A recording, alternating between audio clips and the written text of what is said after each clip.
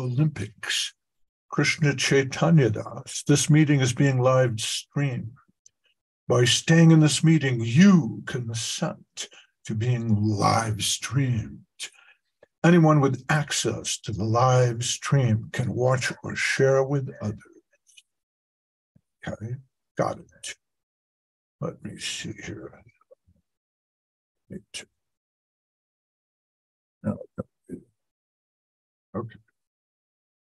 All right. Good morning and welcome. Today is uh, June 9th, 2023. And uh, we're here to discuss this book, the Sri Sri Prapanna Jivanamritam, Life Nectar of the Surrendered Soul. But uh, before we get started, any questions or comments from anybody? Let me turn up the sound. There we go. Sometimes I feel odd lecturing. I can do it. I've done it. You know, I've been a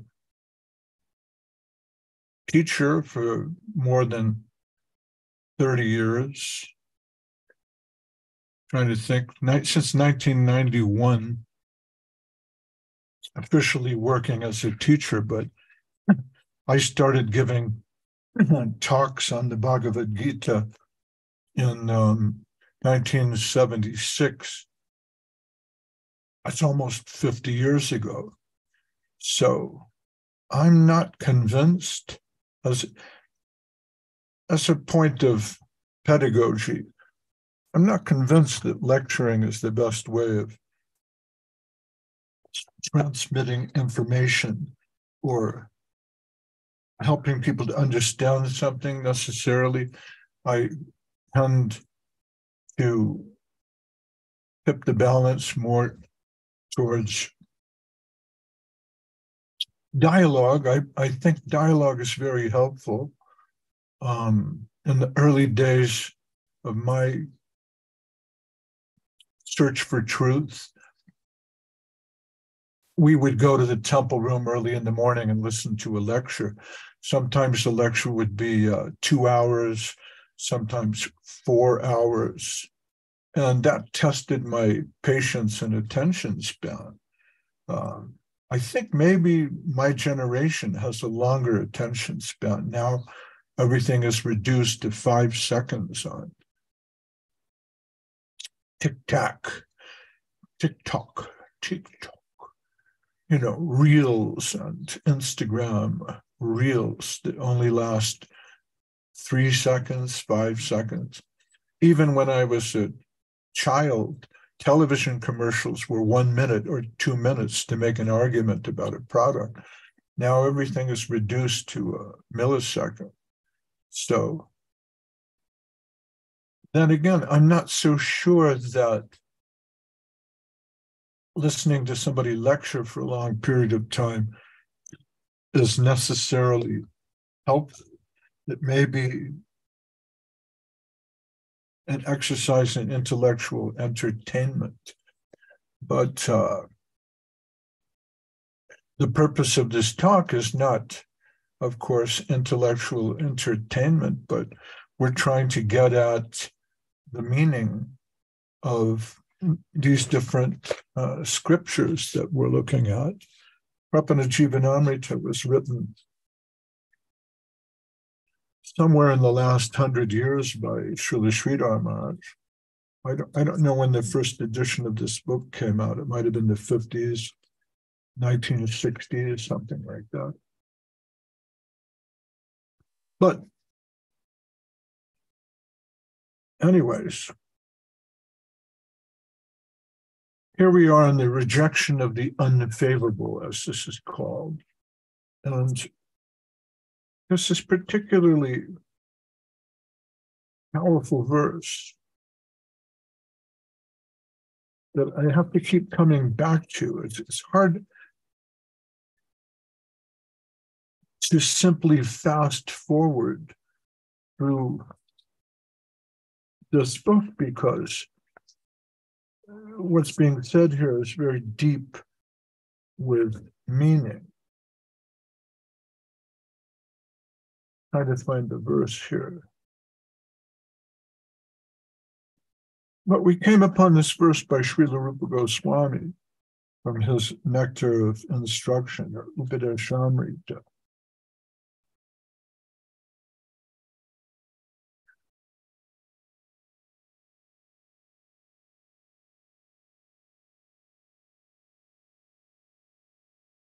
Give me a moment here.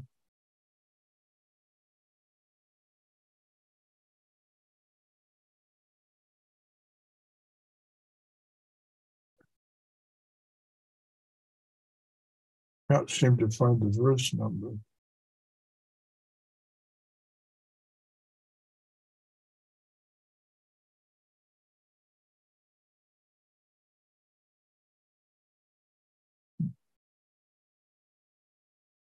Well, this is uh, Bhaktivachanamritam, or the where Sri Ramanuja is giving us the words of nectar from the devotees, Pratikulya Vivarjanam. Uh, and so he he starts out his argument quoting from Sri Chaitanya Mahaprabhu, where he says, Nadanam najanam nasundarim kavitam va jagadisha kamaye. Maba janmani janma janmanishware bhavatad bhaktir haituki twai. Uh, Sri Chaitanya Mahaprabhu himself says, I have no desire for wealth or worldly promotion. No, nor do I desire wife, family, and society, nor do I aspire for Vedic religiosity or mundane scholarship. The only aspiration in my heart is that in every birth I may have un, unmotivated devotion for you. So, whatever is unfavorable for devotion should be given up. They asked me, what, what should we call this talk this morning? Now, here it is. They said, what should, well, what should we call the talk this morning? I said, uh, let's call it letting go. Because letting go of negative things is another way to make your life positive. Sometimes we're attached to different things. So we think these things are helpful for us, but in the end, they're not really. Um, our goal is bhakti or divine love. So you can think about what is negative for what's thought to be love in this life, and you'll see that it corresponds very closely with what Rupa Goswami says in this next verse. We're looking at the 10th verse here in uh, rejection of the unfavorable. Bhakti Badaka Doshas Tyajya. So Srila Sri says, uh, you should let go of these doshas, these defects or faults, uh, Atyahara prayasascha prajalpo niyamagraha jana sangas chalolyam cha shadbir bhaktir vinashiti. And to comment on this, Sri Rama simply quotes what Bhaktisiddhanta Saraswati Thakur says, as if he doesn't want to comment any further, invent something that his, his Guru Dev has already commented on. But this verse is really worth study and it's worth looking into. So that brings up the question why are we doing this? Okay, I said, well, I like a bit of dialogue because it's dynamic. It shows that you're thinking, I'm thinking. This is not some dry intellectual exercise, but we're trying to reflect on our lives. Uh, the great Greek philosopher Socrates, he said the unexamined life is not really worth living. It's it's like animal life. Animals don't think, why am I here? What is the purpose of life?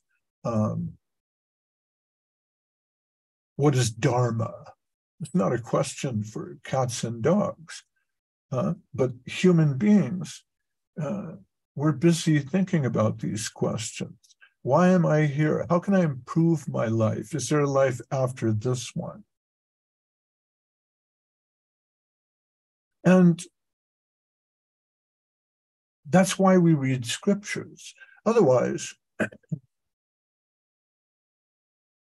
so many people will say, well, you won't find the answers to life in some book. Well, really, whatever you can say has already been said. So when somebody tells you, oh, my philosophy of life is there is no truth, you have to ask them, well, is that an original thought? Did you invent that? Or did you hear that from someone who heard that from someone? And you can trace that line of thought back to a particular philosopher who dedicated a lot of his time to thinking about meaning and meaninglessness and decided that, well, life has no meaning.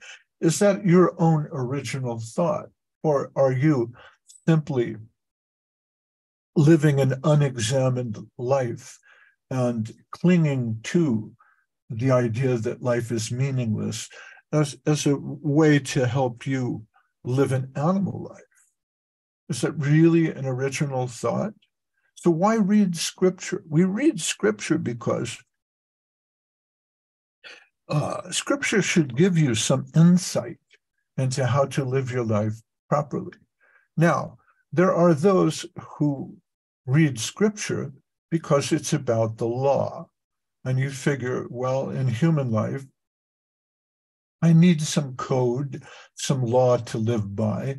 And here's an old book, and the old book tells me what the law is. But this is superficial. You need to go deeper. The unexamined life is not worth living.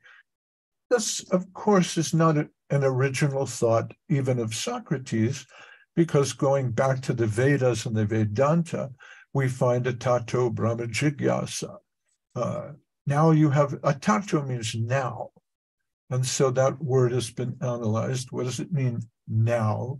It means now that you have this human form of life and you can think about things. Brahma jigyasa it's time to inquire into the nature of spiritual reality. What is that reality? Who am I? Uh, where does all this come from? So, apart from the fact that you can ask yourself that question, uh, you'll find that, as Srila Sridhar Maharaj pointed out, there's gradation everywhere. You're not alone there are those who are more advanced than you are on the path, even in your inner circle. And if you look around, there are also great geniuses of spiritual discovery, uh, maybe beyond your inner circle. And if you look through history, you'll find these geniuses include uh, Buddha, Muhammad, Jesus Christ, um, great spiritual prophets who understood the nature of God on a deeper level, and they wrote about it.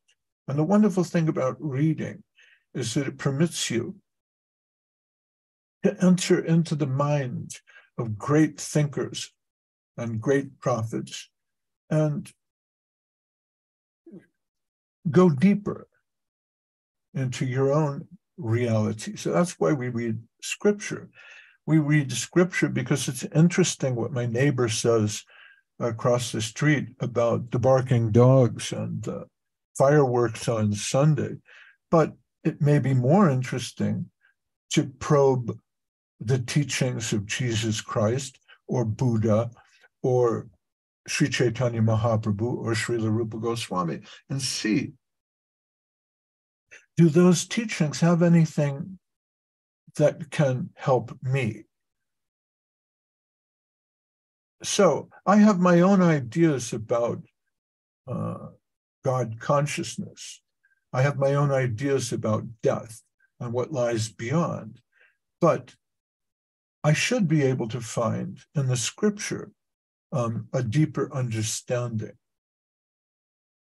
Now, in this particular case, today we're talking about love, we're talking about divine love, and we're talking about those things which hinder love. And I said before, the name of our talk is Letting Go, and I'm going to try not to ramble too much.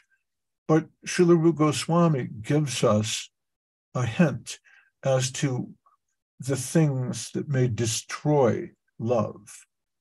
So,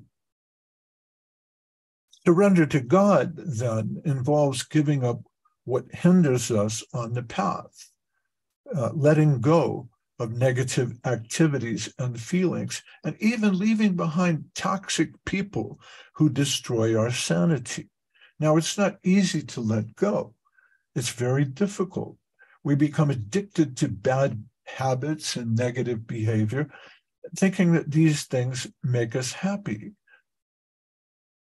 We hold on to anger and hate and other negative emotions, thinking that that's who I am. These things define me.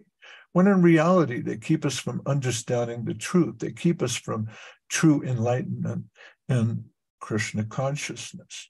Um, sometimes I wonder why people get involved in abusive relationships and they find themselves unable to walk away from those relationships. I myself have been involved in uh, abusive and toxic relationships, and sometimes it's very difficult to just say, All right, I'm going to let go of this person. I'm going to draw a line here and set some limits. And I think part of that is because we have this sort of conceit that our life is like a movie, and in that movie, I'm the star. Well, in order for a movie to be interesting, for a film to be interesting, it, it needs some conflict. Uh, there's the main character and the nemesis.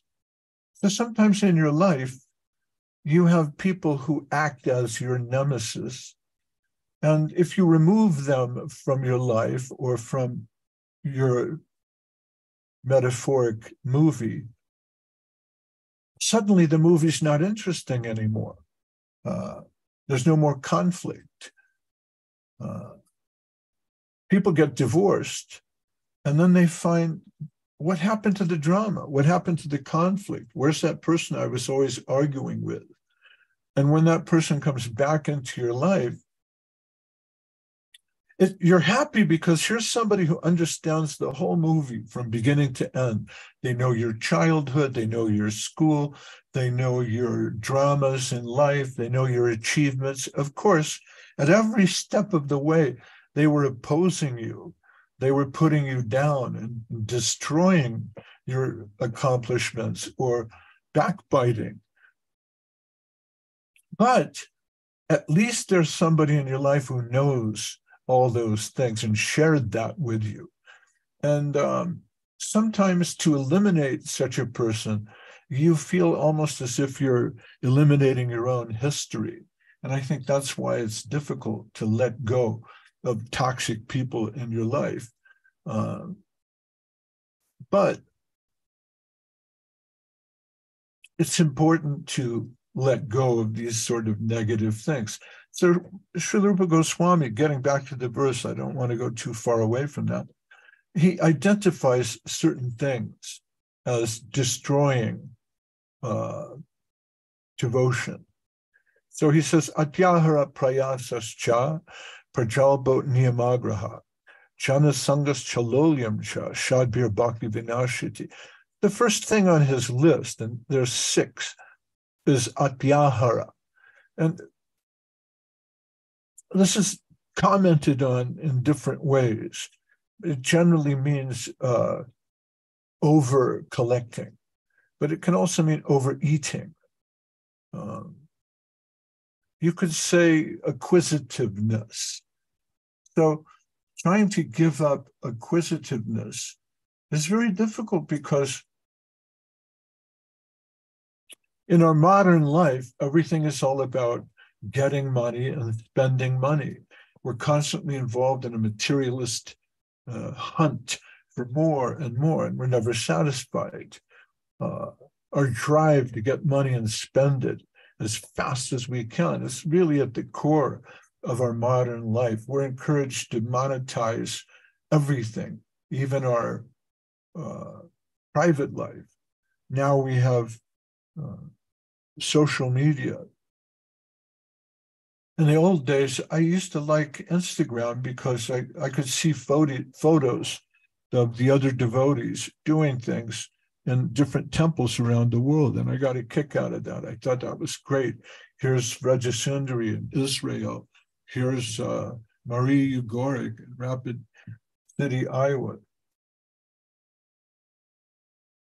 But little by little, uh, this sort of mentality of capitalism and materialism, it creeps into even something as simple as sharing your photos with your friends, because people are encouraged to become uh, influencers and have followers. So the more followers you get who love your photos and now short little videos, you can become an influencer.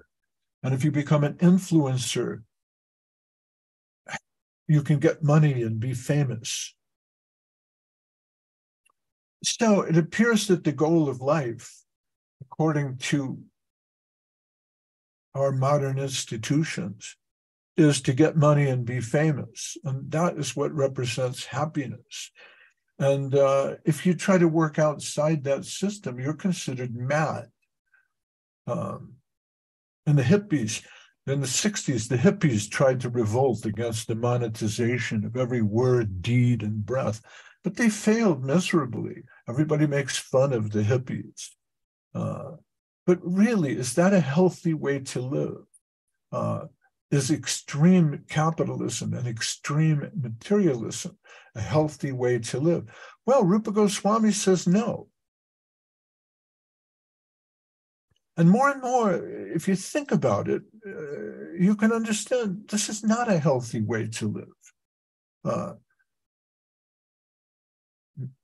I live in a small town in Mexico where uh, in the old days it, it, was very quiet and artists and writers came here to think and study and uh, people loved it because it was quiet so suddenly began attracting tourism and now thousands and millions of people come here to see how quiet it is and now it's basically been destroyed by commercialism and tourism. And that's not just San Miguel de Allende, it's everywhere around the world. Um, is this a good paradigm to live by? When I was in Los Angeles once, I visited uh, off the freeway in Los Angeles. They have these stores called outlets where they sell uh, clothes and things cheaper than normal. And uh, there's one section where there's these huge big box stores, uh, football fields and football fields of them right off the freeway. When you park your car and walk towards the front of the building, they have these huge glass doors. When they open, a blast of cold air comes out of the building because outside it's 100 degree heat or 40 degree heat and inside it's cool as a refrigerator. So each one of those buildings has hundreds of air conditioners and there's thousands of those buildings next to the freeway where millions of cars are burning millions of gallons of uh, gas every day. Is this really the best system for living? Isn't it possible to live a bit more simply? Well, this is an example of atyahara, collecting too much, being driven by this uh, materialistic desire. So we hear people say the one who dies with the most toys wins. Uh, or as Word, Wordsworth put it, he said, The world is too much with us, late and soon, getting and spending. We lay waste our powers. So, is that the paradigm we want to live by?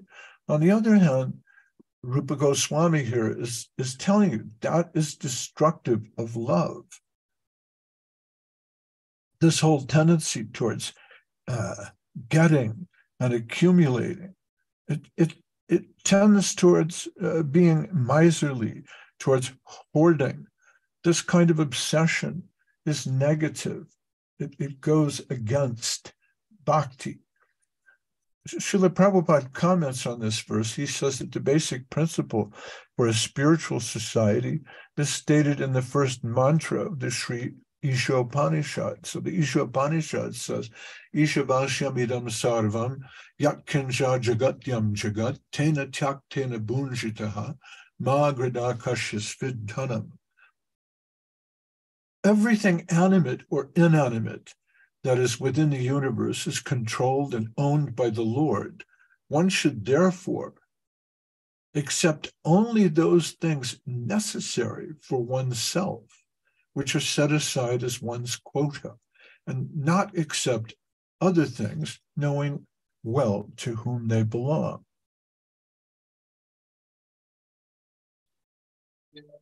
This is a very nice verse in the Ishopanishad uh, there's a story that illustrates this idea of atyahara that was told to me by Srila Sri Maharaj.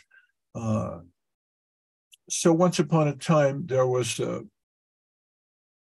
a wealthy merchant, and uh, in Bengal, he lived on an kind of an island in the Ganges there.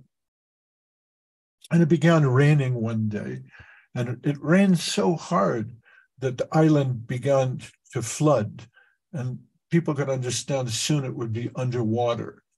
So the merchant hired a boatman to take his treasure across the Ganges, and he carried trunks full of gold coins and precious gems, and uh, began filling the boat to the point where the boat was riding very low in the water.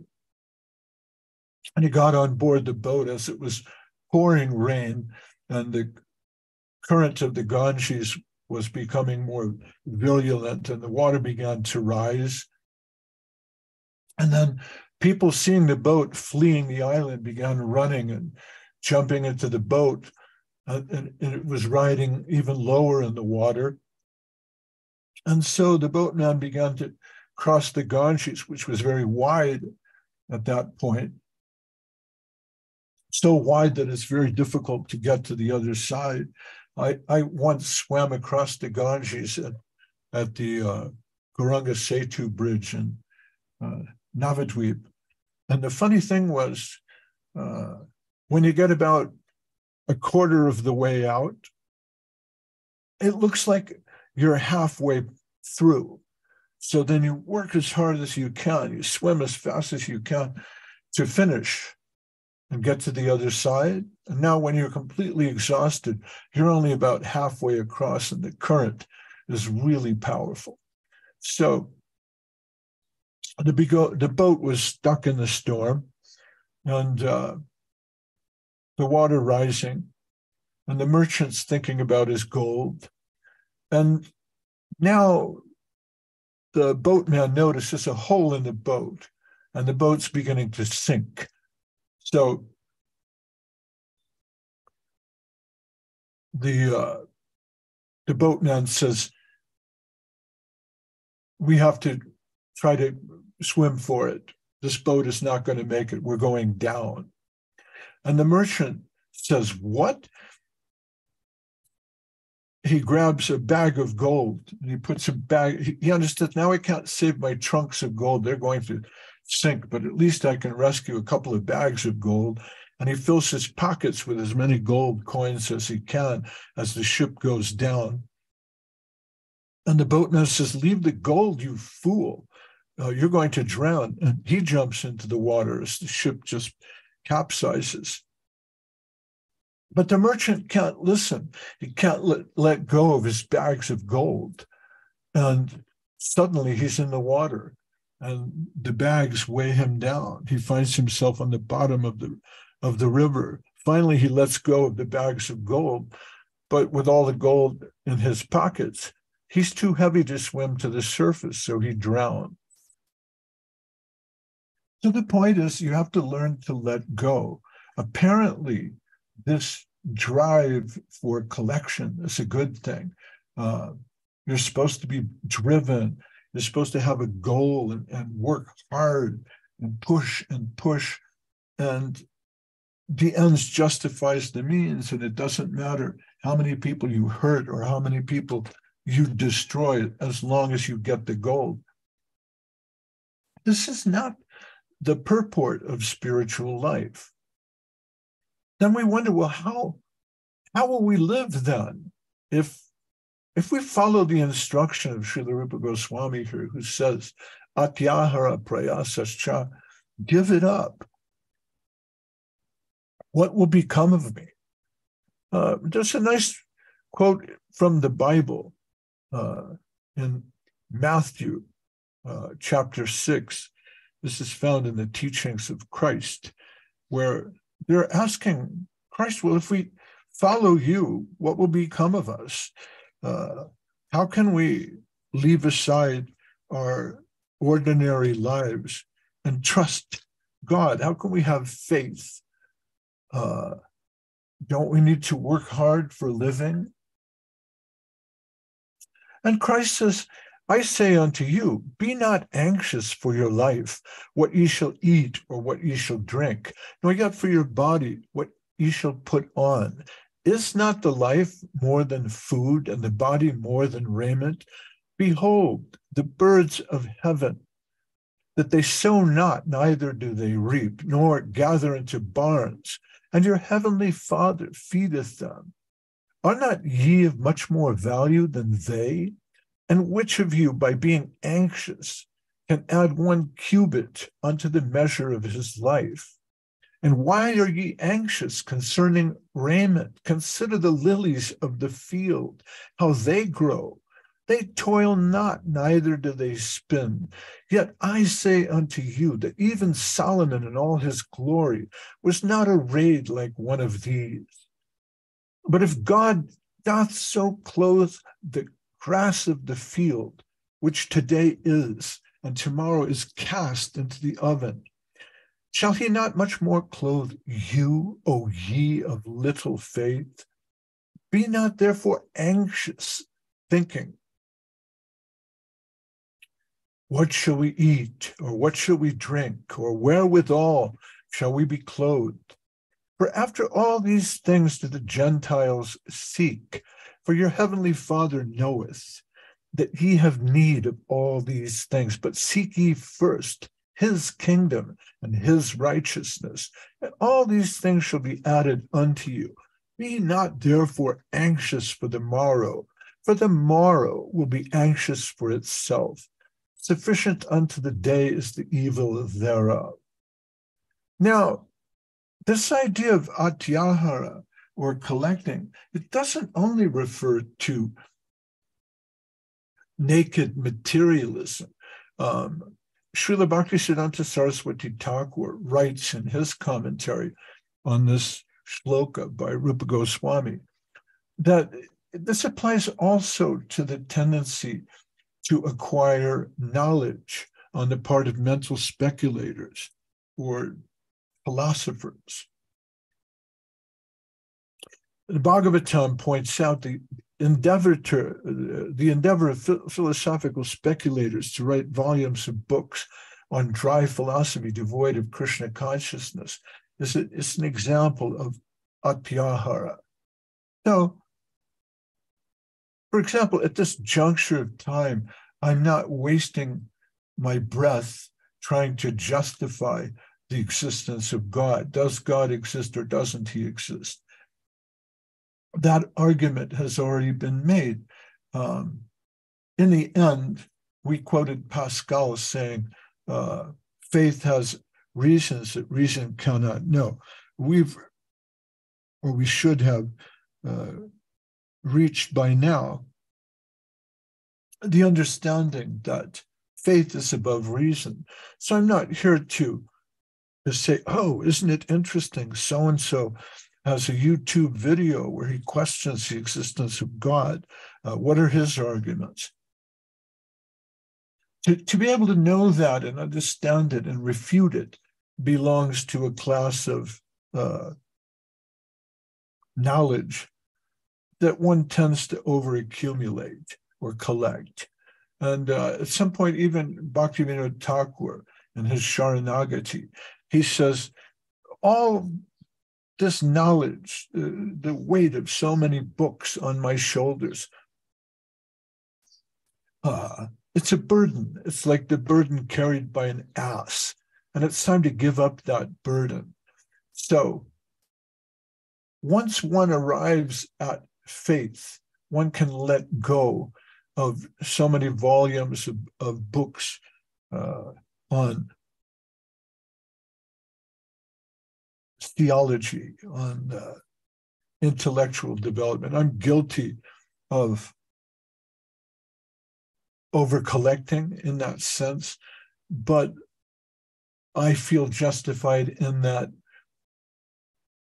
the service was given to me by Srila Sridhar Maharaj and by Govinda Maharaj and by Goswami Maharaj to do my best to defend uh, these arguments in print. And for that reason, I have a lot of books. But I understand this is another form of atyahara.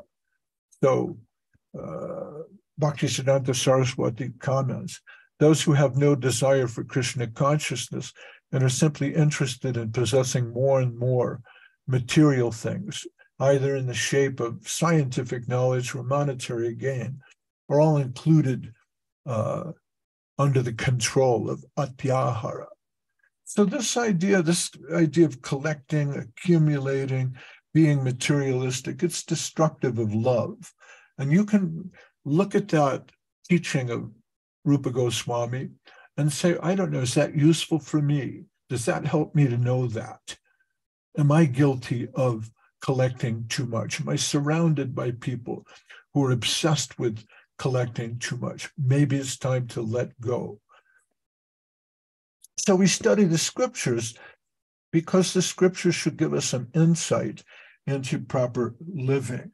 And if you think this is a good insight from Srila Rupa Goswami, avoid over collecting because it destroys love. It ultimately destroys divine love. Then take that take that to heart, and you can consider that as part of the nectar that's being spoken of here in the Prapanna Jivanamritam. The next thing that Srila Rupa Goswami mentions is what he calls prajalpo. Prajalpa means unnecessary talking. Bhaktivinoda Thakur says this generally tends to mean um, unnecessarily useless idle talk that's meant to insult others. so there's a there's a test given by uh, Socrates. It's called his triple filter test, where uh, someone once came to the philosopher and they said, Oh, I have something fascinating to tell you. Uh, you've got to hear this. And Socrates said, Well, wait a minute. Um, let me just ask you, is this true? Do you know it to be true as a fact? And his friend said, Well, it's pretty juicy. it's pretty juicy gossip. Uh, but is it true? Hmm, I'm not so sure about that. Then uh, Socrates said, Well, Okay. Uh, is it good? Is it beneficial for the person uh, you're gossiping about? Will it help them? Will it help me? And his friend said, Well, no, not really. And then he said, Is it useful? And the, the man shook his head. And then Socrates said, Well, I don't want to hear that. And again, in the West, we're fascinated with Socrates because he seems to be the first big philosopher in Greek, but this also goes back to the Manusmriti. In the Manusmriti, there's a really beautiful shloka that Srila Sri Maharaj used to like. Satyam bruyat priyam bruyat na bruyat satyama priyam briyam cha nanritam bruyat esha dharma sanatana. Uh, Manu, he says, speak the truth. Speak pleasantly. Do not speak the truth in an unpleasant manner. Even if it's pleasant, do not speak untruth. This is Sanatan Dharma, Esha Dharma Sanatana. This is the eternal uh, religion. So,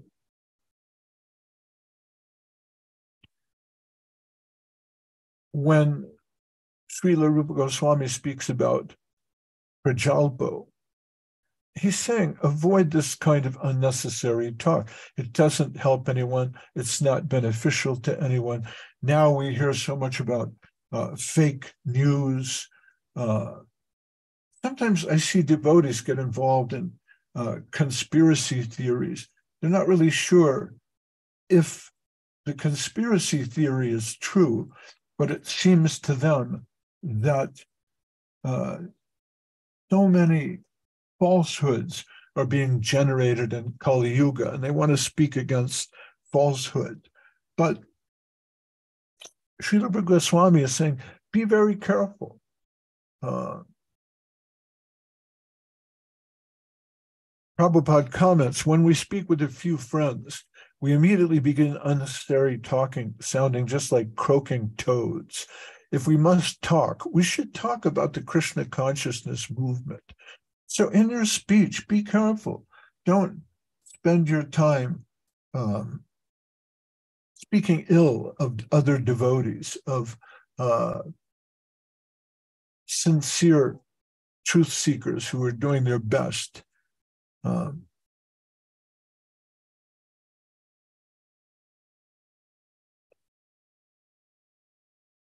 those outside the Krishna consciousness movement are interested in social media and debate about useless socio-political schemes. Don't waste your time with socio political uh, schemes, conspiracy theories. All these things and other frivolous activities are included in the Prajalpo category. Intelligent persons interested in Krishna consciousness should not take part in such activities. Now, the next thing that he mentions in this list, these are six different things. I'll go back to the verse so I don't seem like I'm just rambling around here. Atyahara prayasas cha prajalpo niyamagraha jana sangas chalolyam cha shadbir bhakti vinashiti. These six things destroy love. Collecting too much, uh, oh, big projects, prayas. It means big projects. Uh, avoid burnout, prayas. Over endeavoring for mundane things that are very difficult to obtain. You'll find, even if it's in Krishna consciousness, even if you're trying your best to uh, build a temple or print a book or something, you can find that by putting so much energy into something, uh, it destroys love. You become obsessed. So av- avoid obsession. But the next big one is niyamagraha. And this is an interesting expression because in Sanskrit, uh, when two different words are put together, you join the vowel. So niyama agraha. Agraha means uh, to ne- neglect. But when you put the two words together, uh, the agraha becomes agraha. So agraha means eagerness to accept, and agraha means failure to accept. Uh, we're talking about niyama. Niyama means the rules and regulations, shastra. They're meant for spiritual development. So, how can that be a bad thing? Well, sometimes we become uh, so obsessed with uh, scriptural rules and regulations that we see that as key to our spiritual advancement. But it's much easier to criticize others and see, oh, well, you're not following. Uh, I went to a meeting once in uh, Ireland, and one devotee saw that another devotee wasn't wearing neck beads and said, Well, Prabhu, you should really wear your neck beads. Uh, and all right, that's true, but uh, physician, heal thyself. We need to uh, remove the beam from our own eye before we uh, try to criticize someone else for having a splinter in their eye. Um, Prabhupada comments Niyamagraha has a twofold meaning, understood according to the particular combination of words. Those interested in Krishna consciousness should not be eager to accept rules and regulations economic advancement, yet they should very faithfully accept scriptural rules and regulations for the advancement of Krishna consciousness. This is also true for our Indian friends because in India they have a much deeper acquaintance with the Shastra, but many people see uh, scripture as key for economic development and they want to follow uh, the aspect of Shastra that promotes uh, artha, wealth, leaving aside the ideas about bhakti. So Srila Sridhar also, he pointed out, Western devotees, we like pomp and circumstance. We like the, uh, the outer aspect of the thing. We like the superficial uh, trappings of Krishna consciousness, uh, beautiful saris, um, tea drinking, all these things that are fun. Um, they're happy parts of the Krishna conscious community, but not necessarily essential towards developing love. And then there's Jana Sangha. And Jana Sangha means toxic association, especially uh, materialistic persons. So avoid the association of materialistic persons, especially uh, those who blaspheme devotees or those who are interested only in material happiness. Um, atyaharis, those who desire the perfection of mystic yoga. And finally, there's lolyam or greed. And that gets back to atyahara. So letting go of these six faults, that was our theme for this morning. And uh, Srila Prabhupada ends his commentary on this shloka by Rupa Goswami. He says, when human society gives up these elementary faults, all enmity will cease between men and animals, capitalists and communists, and so forth. In addition, all problems of economic or political maladjustment and instability will be solved.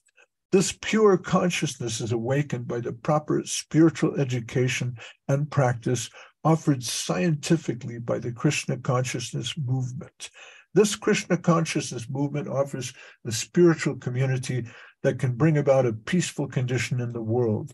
Every intelligent man and woman should purify his consciousness and rid himself or herself of the above mentioned six hindrances to devotional service by taking wholehearted shelter of this Krishna consciousness movement. So once again, atyahara prayasas cha, give up, let go, too much collecting,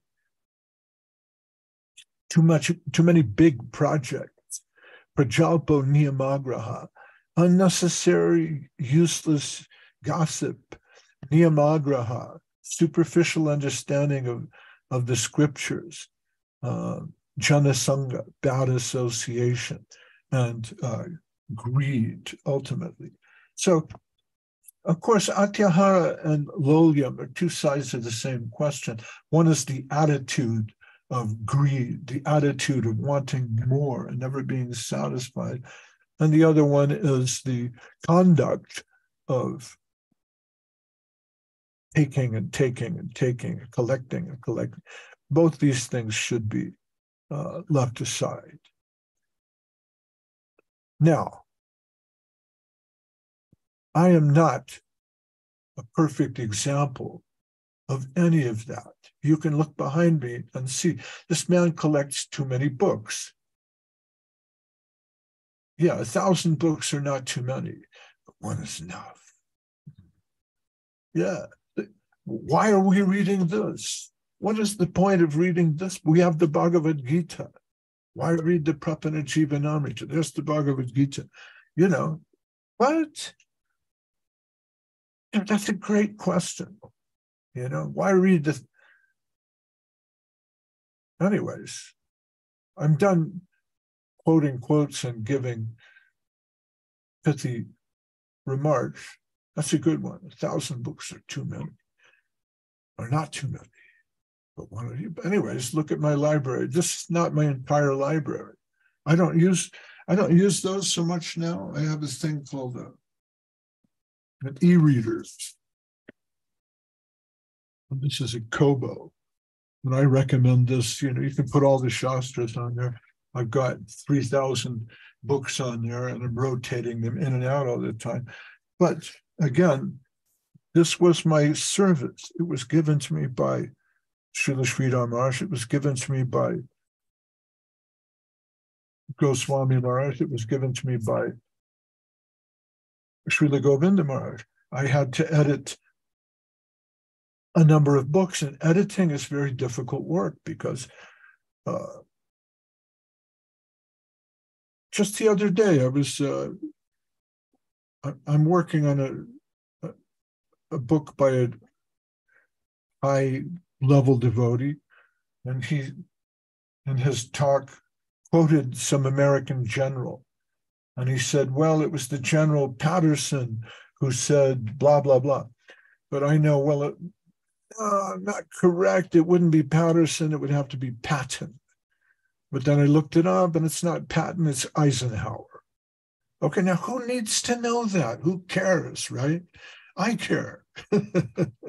That's why I do this at some point I was editing Srila Sridhar and he would say, Hegel says the absolute truth is by, by himself and for himself. And in those days, we didn't have the internet. There was no Google. There was no AI. I had to go to the library at the University of San Jose, University of California, San Jose. San Jose State University. And uh, I had to go through a stack of books to find where Hegel says reality is by itself and for itself. And I couldn't find it. Why? Well, because Hegel wrote in German.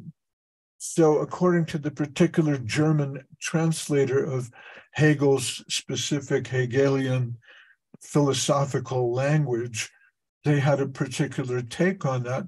And I realized that that expression probably came out of um, a particular professor who taught at Presidency College uh, in Calcutta in the 1890s or the 1910s, whenever Srila Sridhar Maharaj was studying there.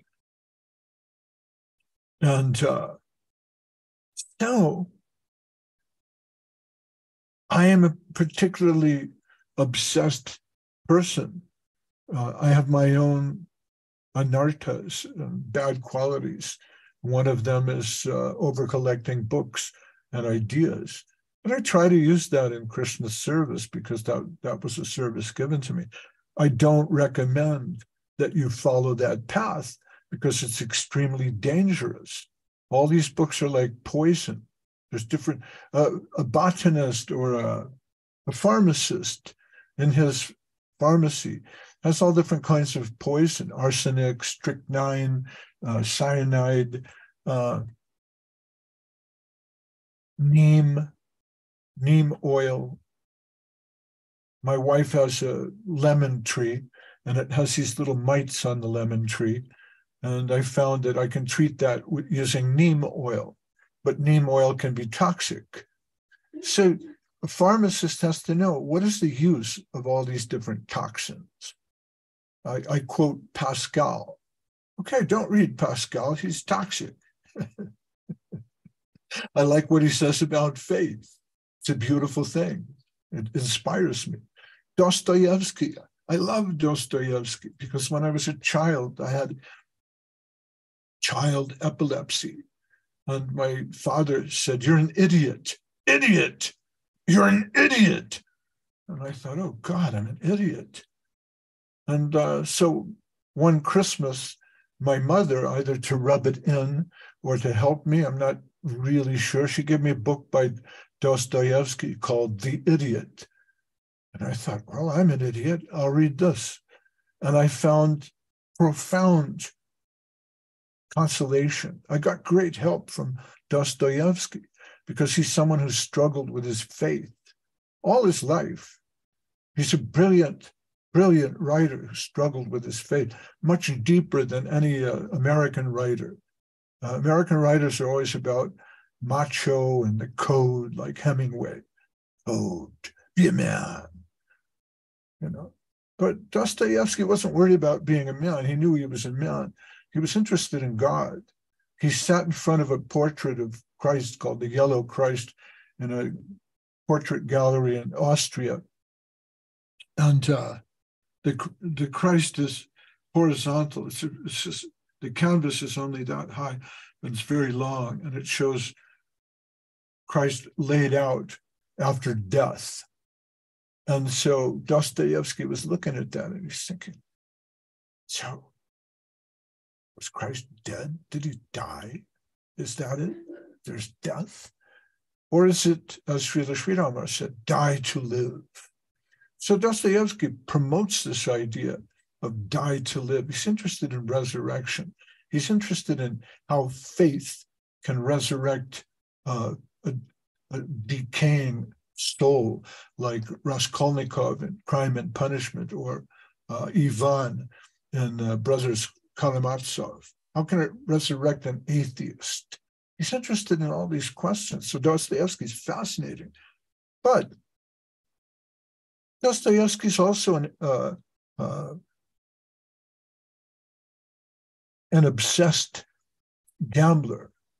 He's a gambler addict. I forget how they, a, a gambler holic.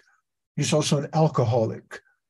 And, and so this man is not up to the level of a Srila Prabhupada, a Srila Govinda Maharaj, a Srila Bhaktisiddhanta Saraswati Thakur, a Srila Sridhar Maharaj, uh, Sri Chaitanya Mahaprabhu.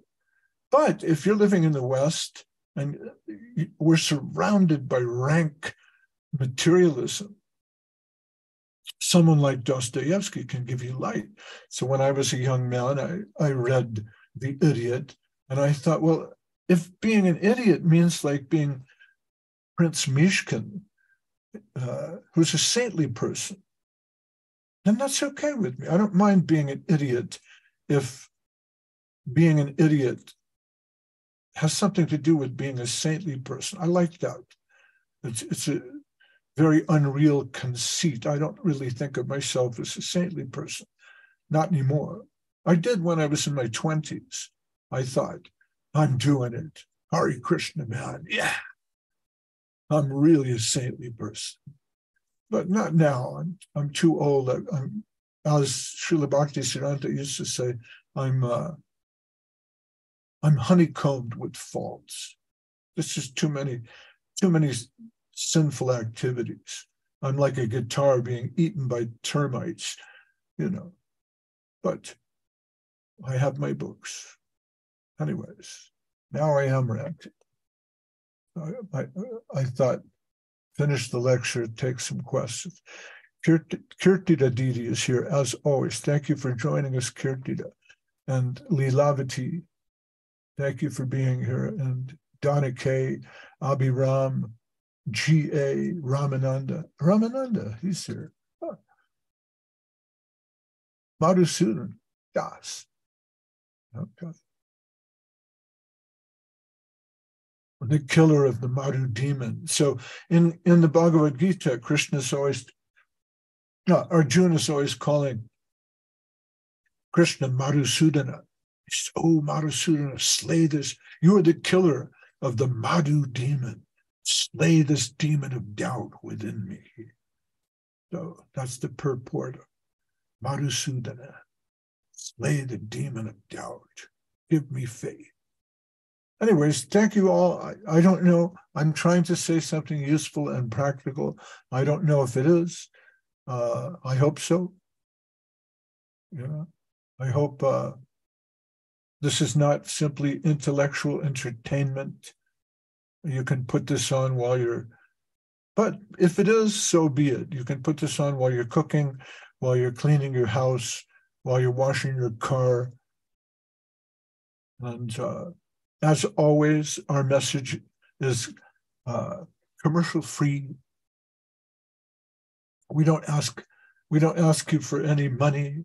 We don't ask you for any donations. The only thing we ask you for is the most valuable thing that you could possibly give, and that's your time and attention.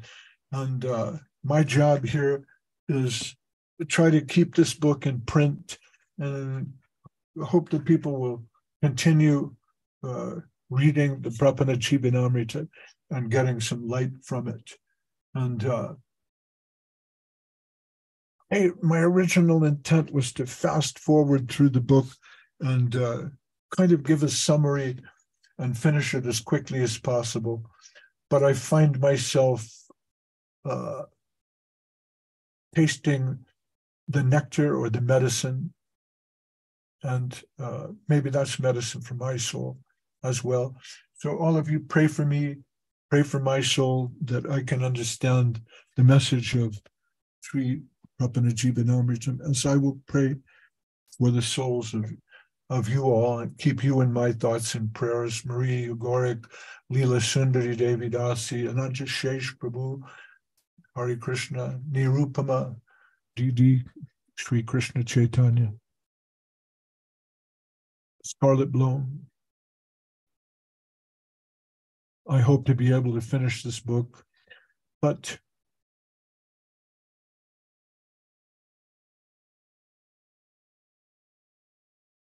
nobody wants to say hello or goodbye. Okay. Urgh. I finished I finished school yesterday, so I'm feeling good. I have high, I have less pressure you know, because when you're teaching, you have to assume the persona of the teacher, whatever that might be. And you have to keep it going every day, every day, every day, you know, for six months or four months or however long it is, you know. And now finally I can take off my teacher hat and be who I really am. Mahayogi. anyways, to our friends out there in Facebook land, YouTube land, Instagram land, and all those different lokas. It's interesting because in the uh, Bhagavatam, you know, there's different planetary systems mentioned as loka, you know, but the word lok, it means planet, but it's also like a circle of influence the parliament uh, in India is called the Lok Sabha. It means the assembled people. Lok, it also means people. So there's the people of, you know, Andhra Pradesh and the people of Madhya Pradesh and the people of, you know, Uttar Pradesh, UP, people of Bengal. These are different lokas, just like there's Satyalok, Brahmalok, Janalok, Tapalok, Mahalok. So you can think of those as being like spheres of influence, like the world of sports, the world of business, the world of finance, the world of politics. They're worlds, but where are they physically located? See? So we have Instagram Lok, YouTube Lok, and the Zoom Lok. So we're on Zoom Lok, which in Spanish means loco, So we're Zoom logos. Anyways, adios, Hare Krishna, Gora Bhaktivinoda Ki Jai. We'll see you all next week, we hope. And uh, bye bye. This is Mahayogi saying adios. And Jai Mahayogi Prabhu Ki Jai. Yeah. Thank you very much. Thank you. Thank you very much. Thank you very much. Uh, see you next week. Большое спасибо. Увидимся на следующей неделе. Please accept our dandavats. Пожалуйста, примите наши дандаваты, our obeisances, наши поклоны. Харе Кришна. Thank you, Marie, for your help. Харе Кришна. Нирупама, I love you. Нирупама, люблю тебя. Bye-bye.